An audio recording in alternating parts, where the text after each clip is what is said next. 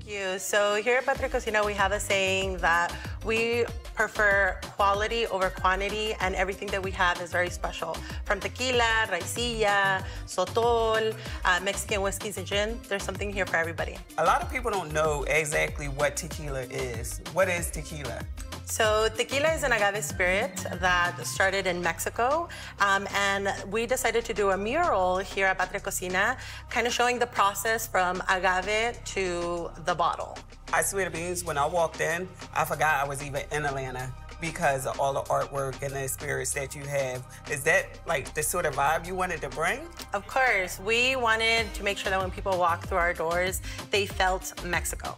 And of course, having agave spirits is very essential for us. We also have other agave spirits, like, such as raicilla, which is also made in Jalisco, uh, but is made with a different agave variety. We have mezcal, that is made up to 20 different agave varieties.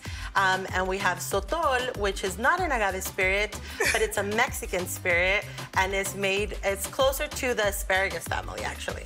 I heard he does some amazing dishes with the food. I think you're you're gonna be in for a treat. There's a lot of food and cocktails that we have that may look a certain way, but when you taste them, it just takes you back to Mexico.